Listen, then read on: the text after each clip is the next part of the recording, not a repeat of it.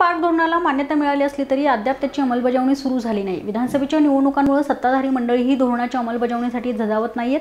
त्यामुळे ही योजना गुंडाळी जाते की काय अशी शक्यता निर्माण झाली आहे? तत्कालीन आयुक्त कुणाल कुमार यांनी आखलेल्या या धोरणाला सुरुवातीला विरोध झाला परंतु प्रशासनाने पदाधिकारी आणि नगरसेवकांची सहमती मिळवलीच.